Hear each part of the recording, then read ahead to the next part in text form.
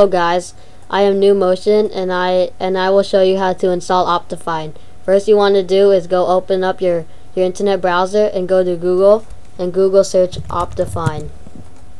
After that click on the link that goes to minecraftforum.net. After it's done loading, scroll down and look for the Optifine Ultra for 1.3.2.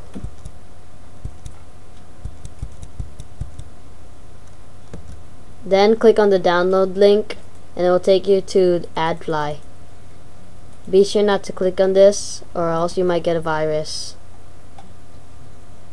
So then after it's done loading, click on the skip ad button in the top right and click on the download optifine.zip. After it's done loading, open it up and close your and you can close your web browser. If, if you can't open up this .zip, then you need to download an archiving program such as WinRAR or 7-zip. I use I personally use with I personally use WinRAR. After that, click on your start button and type in percent app data percent. Then go to your .minecraft folder and click on bin.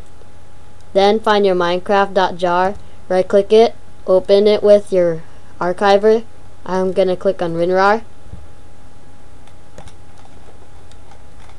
Then you can go back to your Optifine zip and then highlight everything and just drag and drop it into the minecraft.jar. After this, you need this is very important. You will need to delete the META-INF folder. If you don't delete this, you will get a black screen and Minecraft won't run. So after this, you are basically done installing Optifine.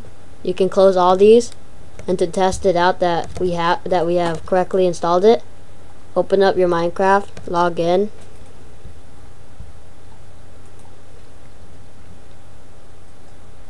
And go to your options video settings and if you have the these and you have if you have these tabs the details and animations you have installed Optifine correctly. Thank you for watching and, see, and until next time